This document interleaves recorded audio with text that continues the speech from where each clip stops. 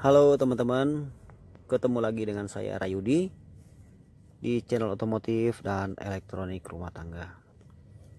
Kita berikan doa dulu ya, ini buat teman-teman yang sedang menonton. Semoga-semoga diberikan selalu kesehatan ya, sesehat-sehatnya. Diberikan rezeki yang melimpah ya teman-teman dan juga dilancarkan dalam segala kegiatan dan aktivitas teman-teman sekalian. Amin amin amin. Di video kali ini teman-teman saya mau sedikit berbagi lagi dengan teman-teman ya. Bagaimana caranya kita mengetahui ya teman-teman. Ini kan uh, transmisi mobil otomatis ya atau mobil matic. Jadi di situ kan ada angka sama huruf ya.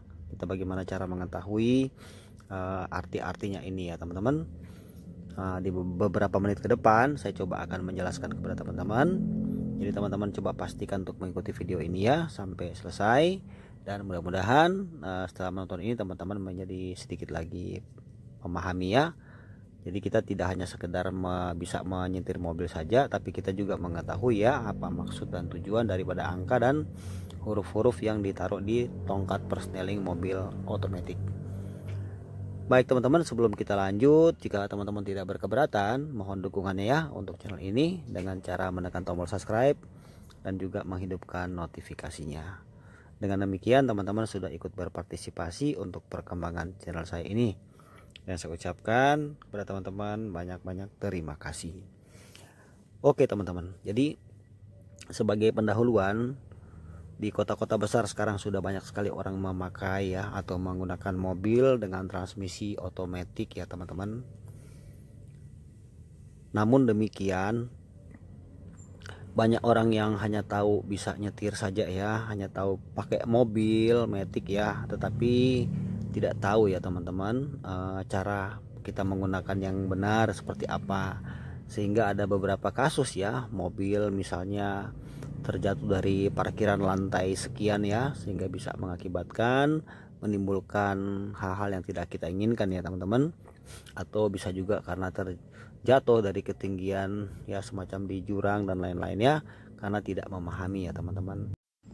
Nah ini juga bisa memicu terjadi kerusakan pada transmisi otomatiknya sendiri ya teman-teman Nah ini yang kadang belum banyak yang paham jadi driver hanya tahu menyetir saja tapi tidak betul-betul memahami sehingga bisa terjadi kerusakan bahkan kerusakan berat ya pada transmisi metik tersebut. Nah jadi supaya teman-teman bisa paham ya jadi saya akan coba jelaskan. Nah tentu saja teman-teman video ini ya saya khususkan bagi yang masih betul-betul belum paham ya yang ingin mencari tahu yang udah tahu bawa mobil metik tapi belum belum paham benar ya. Jadi saya akan coba bantu ya kepada teman-teman. Mudah-mudahan teman-teman bisa mengerti dengan keterangan atau penjelasan singkat dari saya ini ya teman-teman. Nah jadi kalau di angka eh, maaf kalau di huruf P ini kan nah ini sama juga artinya dengan parkir ya teman-teman. Jadi kendaraan dalam keadaan posisi roda itu terkunci. Dan juga ini berfungsi untuk kita starter mobil ya. Jadi saat kita starter mobil kita kan harus memposisikan posisi tongkat persneling ini ada di posisi P sini ya teman-teman. Jadi semua roda akan terkunci sehingga mobil tersebut tidak bisa didorong. Namun di posisi inilah mobil baru kemudian bisa di starter.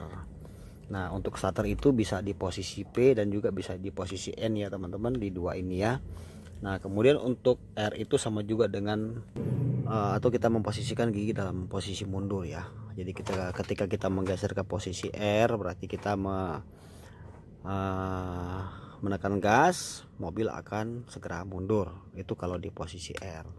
Nah kemudian kalau di posisi N ini adalah posisi kendaraan kendaraan netral ya teman-teman. Atau boleh eh, saya bilang ini posisi di mana mobil eh, roda tidak terkunci ya jadi kalau transmisi transmisi metik itu misalnya berputaran roda depan maka tidak terkunci rodanya sehingga mobil dalam posisi ini ya bisa didorong ya teman-teman jadi didorong tapi bukan didorong untuk dihidupkan kalau misalnya akinya tekor nggak bisa ya tapi hanya dorong hanya untuk memindahkan mobil bisa di posisi N tentu saja kita harus memposisikan kunci kontak di posisi on untuk mobil-mobil yang lain bisa ya tanpa kunci kontak ada beberapa mobil-mobil lama itu ya tapi kalau untuk mobil zaman sekarang harus di posisi kontak baru kita bisa taruh di posisi N Nah, kemudian kita lihat di sini ya. Ini ada posisi D. Nah, keterangan di sini kan D4 ya, teman-teman. D itu sama juga dengan drive ya. Jadi di posisi D ini kita menjalankan kendaraan kita ya, teman-teman, dalam keadaan jalan lurus walaupun menanjak tidak banyak sedikit ya. Nah, ini nanti dia akan mengatur dengan secara otomatis. Jadi ketika kita memposisikan tongkat persering di D, ya kita cukup menekan pedal gas, maka mobil itu akan berjalan dan dia akan diatur dengan RPM kemudian dia akan berpindah dengan secara otomatis ya. Jadi semisalnya dari gigi satu dia akan pindah ke gigi dua kalau perbandingan dengan mobil manual ya teman-teman. Jadi sampai gigi jadi dari gigi paling rendah sampai gigi paling tertinggi tetap ada di posisi ini ya. Tapi teman-teman tidak bisa menggunakan ini ya di posisi menanjak dengan tanjakan yang curam ya. Sangat tinggi tanjakan tidak bisa kita gunakan di sini teman-teman. Karena uh, kalau untuk pengguna mobil metik terkadang walaupun tanjakan tetap dipakai di sini terus ya tanjakan makin tinggi pun sangat ini ya ini tidak boleh ya. Ini bisa bisa merusak mobil metik uh, bisa merusak transmisi metiknya teman-teman ya. Nah kemudian kalau di posisi tiga ini ini sebetulnya sama juga ya. Kalau, kalau misalnya saya berikan contoh misalnya seperti ini ya teman-teman. Nah kalau teman-teman ketemu ya nah seperti ini misalnya urutannya ya. Ini kalau ini saya berikan contoh semacam mobilnya Honda ya. Nah misalnya Honda City ya kan Civic. Nah, dan beberapa jenis Honda lainnya. Ini kurang lebih seperti ini urutannya teman-teman ya. Jadi itu sama juga yang pertama tadi ya P itu di parkir R itu di di posisi mundur kemudian N itu netral D ini drive ya posisi kita berjalan dan diatur secara otomatis 1 2 sampai gigi paling rendah sampai gigi paling tinggi. Nah kalau kalau S itu di sini ada S ya. Ada juga yang menggunakan di sini satu atau dua ya teman-teman. Nah itu sebetulnya sama aja itu maksudnya second ya. Itu maju dalam posisi mendaki ya semacam kita mau naik pegunungan gitu kan. Nah ini di posisi ini teman-teman kita harus pindahkan ke posisi S jadi kurang lebih hampir sama kita memindahkan di sini. Jadi kalau untuk ini kalau kita ibaratkan mobil manual ini sama ya mirip ya. Jadi ada gigi dua dan gigi tiga teman-teman.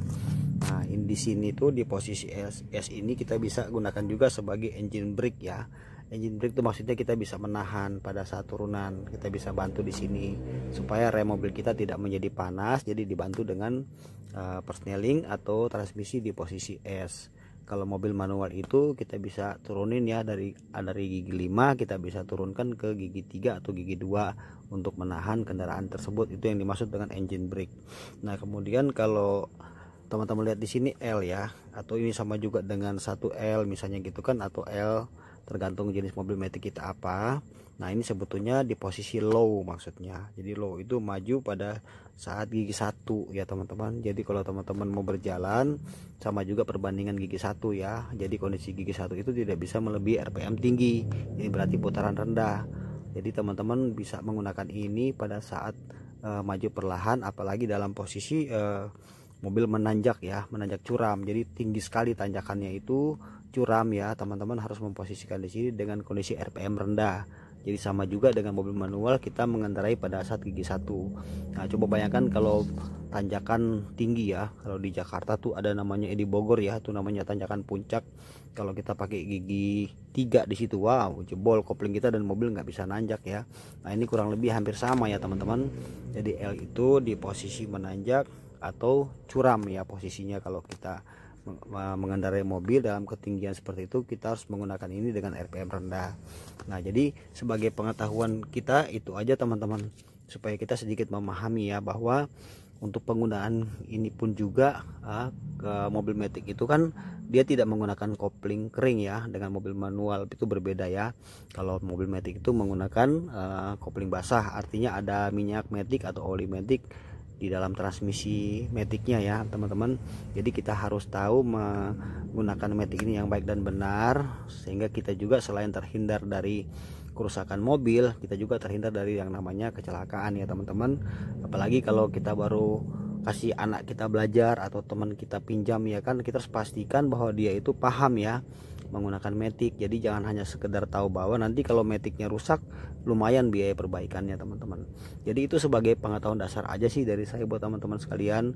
Jadi ketika teman-teman merasa punya mobil metik atau saudara yang lain mempunyai mobil kita ya kita harus pastikan bahwa dia paham gitu ya untuk tahu bagaimana caranya mengendarai mobil metik yang baik dan benar ya teman-teman.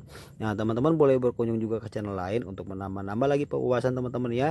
Karena saya juga terbatas adanya ini hanya sebagai dasar saja buat teman-teman sebagai informasi dasar ya supaya teman-teman sedikit ada gambaran tentang soal uh, bagaimana cara kita membaca angka atau huruf yang ada di transmisi metik ini ya di tuas manteling oke teman-teman demikian video saya kali ini semoga video ini bisa memberi manfaat buat teman-teman sekalian ya. Akhir kata salam sukses dan semoga teman-teman diberikan selalu rezeki ya yang melimpah. Thank you sudah menonton. Nanti kita ketemu lagi. Jangan lupa tekan tombol subscribe. Bye